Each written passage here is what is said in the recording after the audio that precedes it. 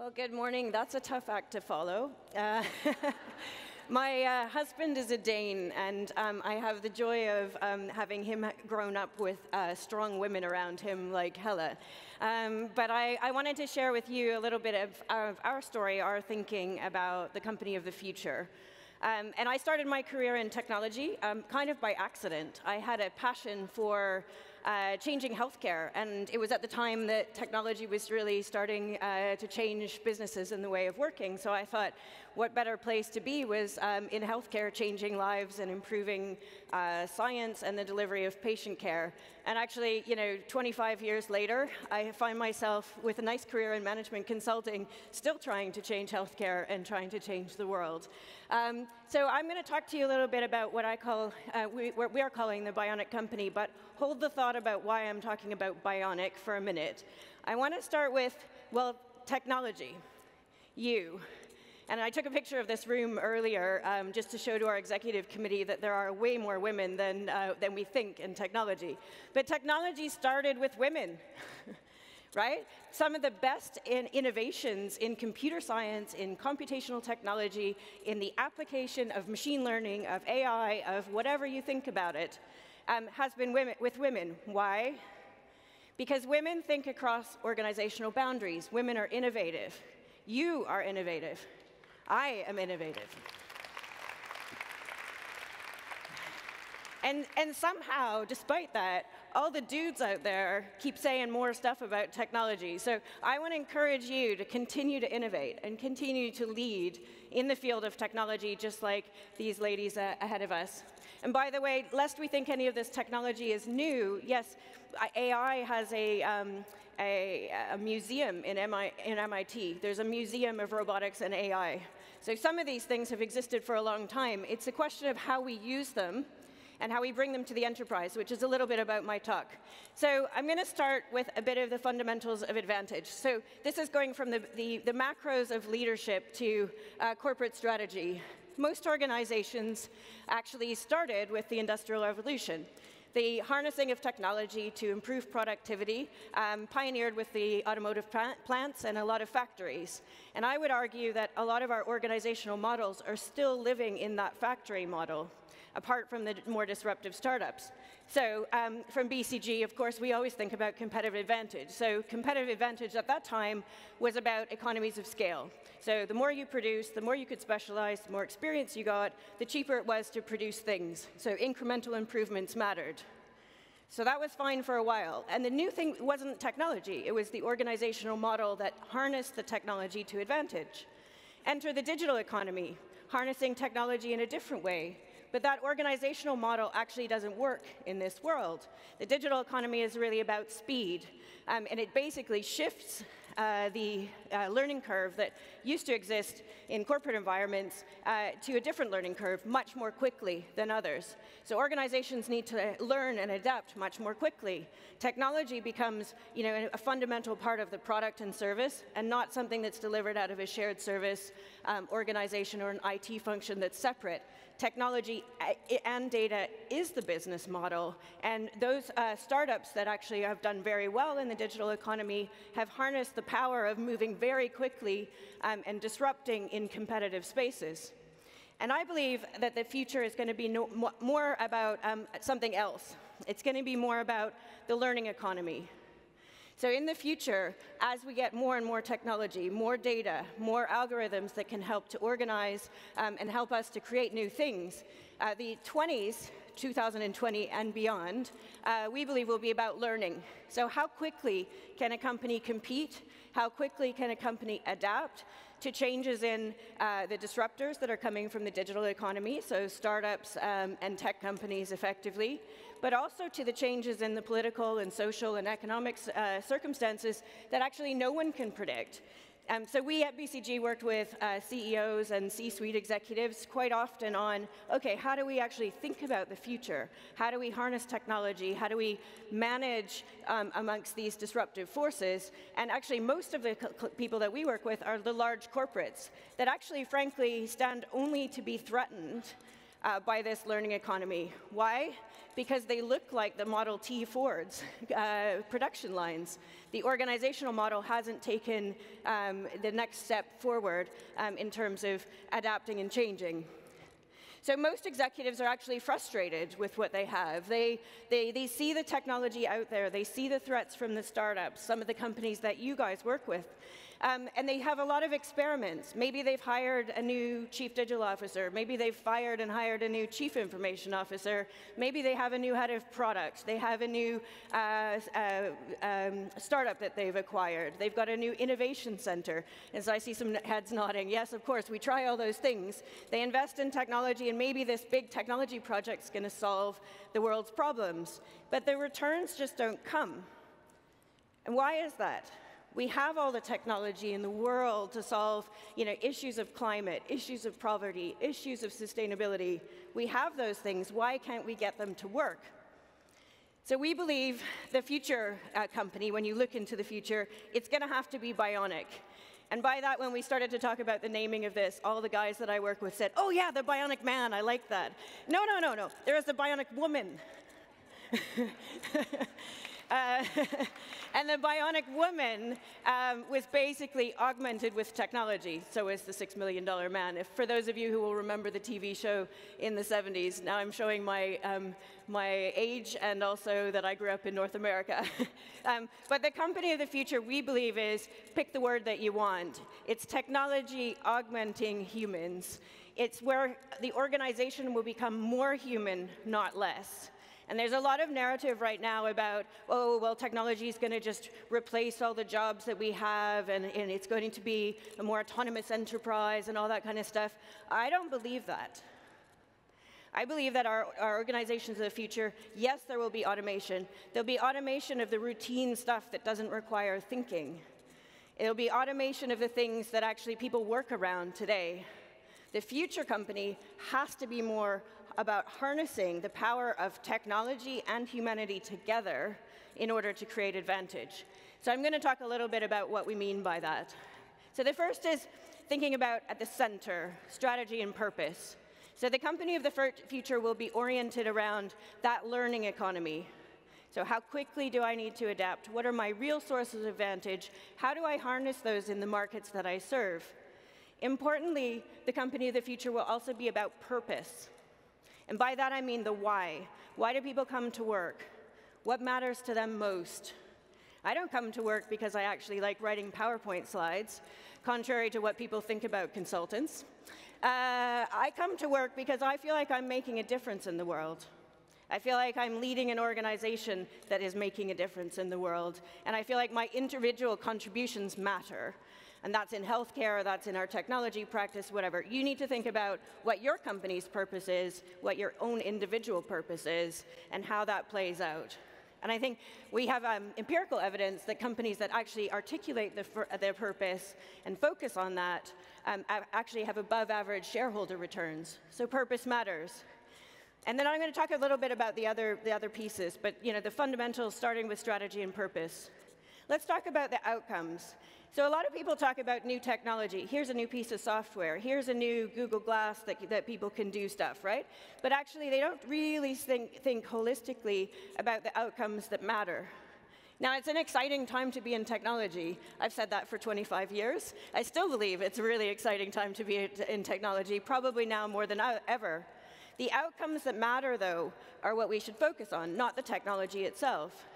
So how are we changing the way drugs are discovered and uh, delivered into populations? How are we changing the way people move around cities um, and the environment and uh, sustainability elements that, that, go with that? How are we personalizing the, the customer experience and shifting the way people purchase goods and services?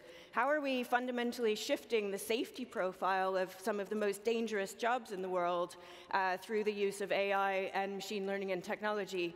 It's those outcomes that matter most um, that, that people should focus on. So the company of the future will focus on the really audacious outcomes that matter that are linked to their purpose. They will also have a different approach to technology. And this is the bit that um, I like to talk about, of course, and I hope you all um, like to hear about it. Um, but I'm going to get on to the organization stuff because I think that's as important as the technology. So um, as we looked at the company of the future, we started to look at the sort of industry pioneers that are really changing the game. So still large companies that are changing the game. If you look at Tesla, for instance, their approach to technology is fundamental to their strategy. They can implement a new business model, a, a fundamental change in their commercial policy, design and test it and roll it out globally in a matter of days.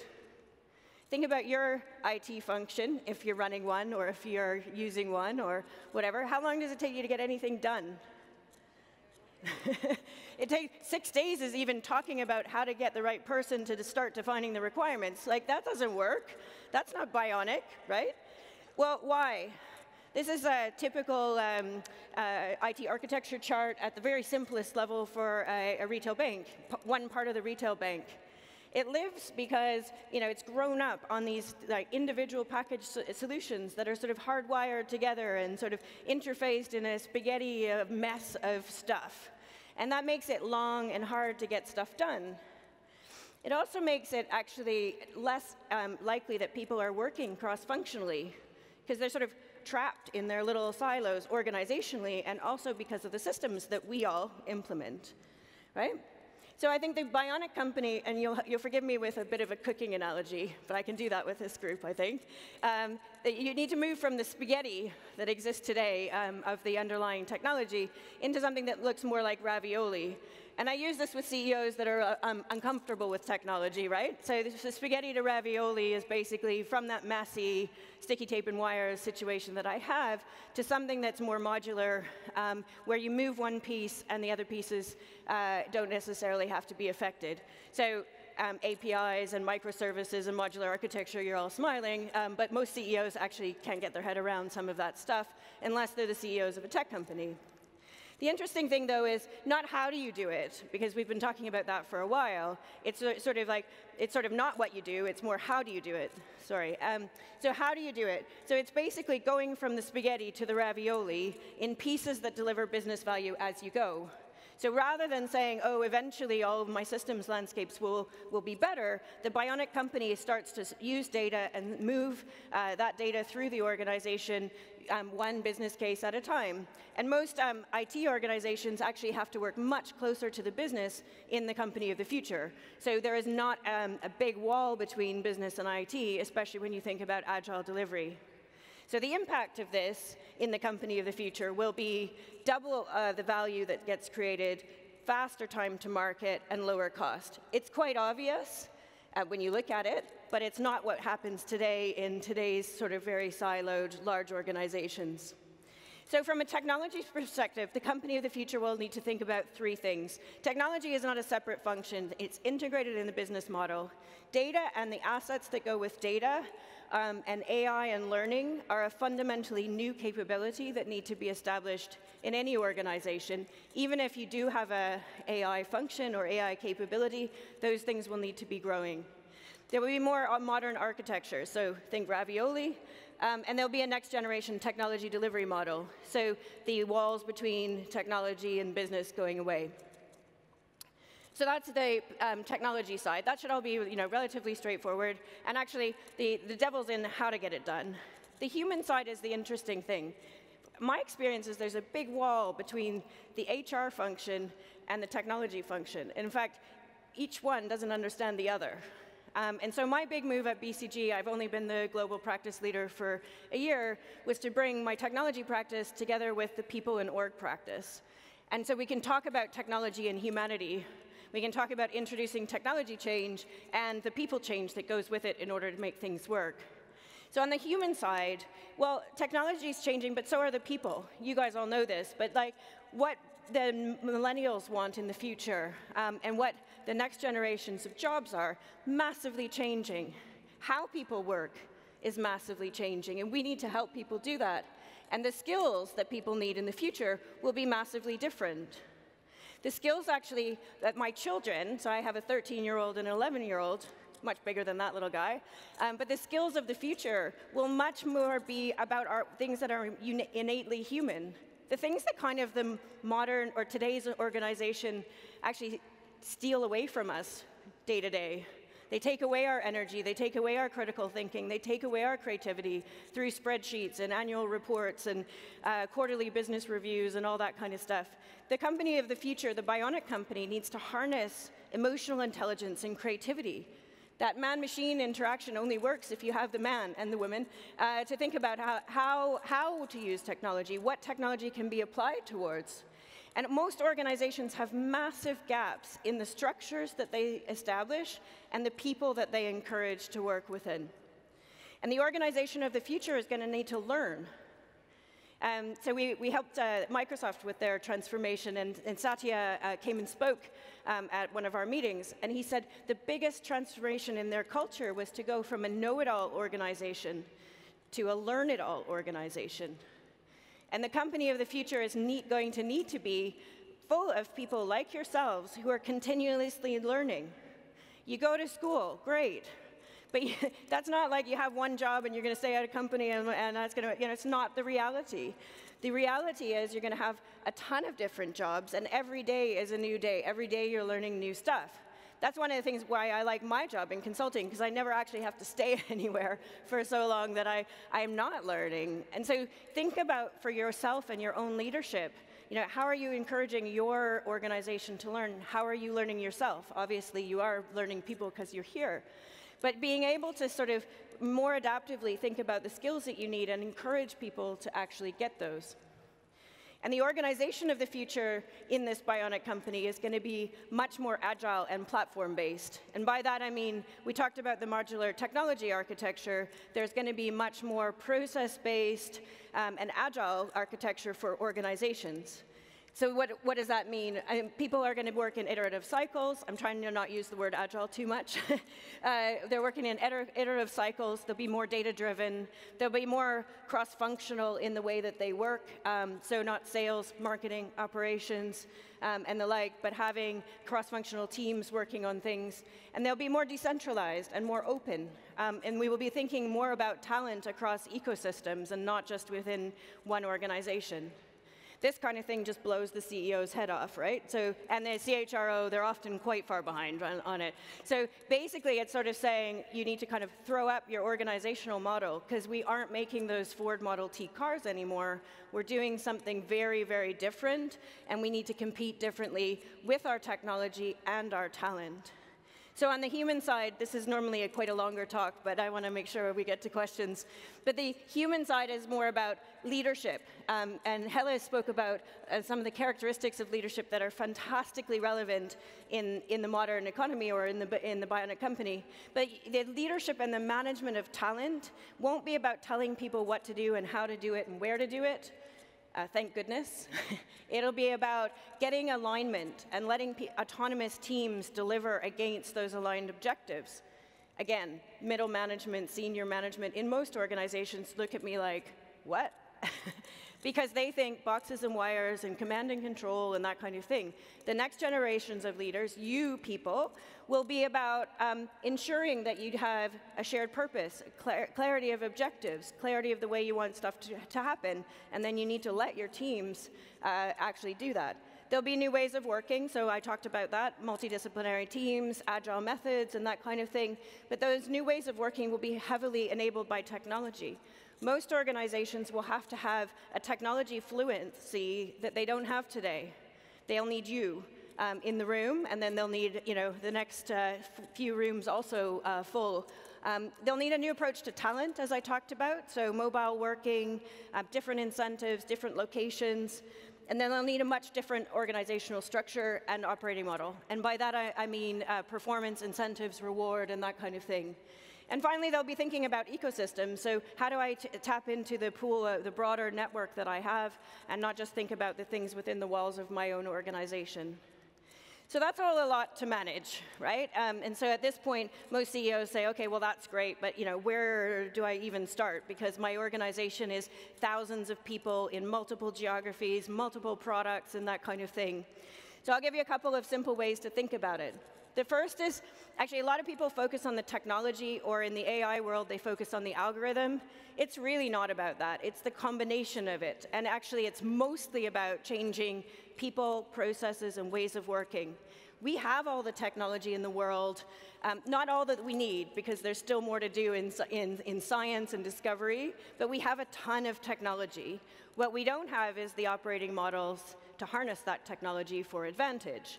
So it's 10% the algorithm, so think 10% data science, AI, and that kind of thing, 20% technology, and 70% change, changing people, behavior, and way of working. And un unfortunately, that's harder than the technology. The technology is the easy part, I think, in this.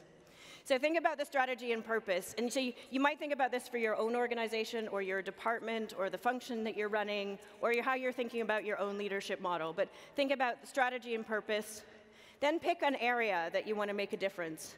So think about the outcome that you're trying to drive. It's part of your business performance, it's part of an innovation, it's part of a, an outcome or a KPI that you're trying to deal with. Then think about the human and the technology side together, not one or the other. So not the people in the boxes and then an IT project on the side, but how are you going to get those two things together? And do that as a full circle in one area. And I see a lot of organizations with thousands of proofs of concepts and little ideas that have not scaled. Why? Because they haven't thought about a thing that matters, the people and the technology together. So when you do that, and then you extend that ap approach over and over again, then you start to uh, get into a broader set of things around, well, really flipping your organizational model around outcomes, people, and technology. And so our view is the, the Bionic company, so the company of the future, mostly is about large organizations, but it'll also be about the disruptive organizations that grow into large organizations. They're going to need to think about bringing this holistic per perspective together, technology and humanity. So in conclusion, I would just say um, this is a purpose statement that I came up with for our technology function, and it's about pushing the edge of po possibility. Um, and I would encourage you in this room uh, to think about how you push the edge of possibility with technology and also your human side together, um, because actually we women are fundamentally good at those things together, um, and that's an advantage for us in the market. So think about how you're going to push the edge of possibility and how you're the bionic woman augmented with technology in the back of your heart, but also having the heart and the purpose that it takes to drive change in the organization. Thank you.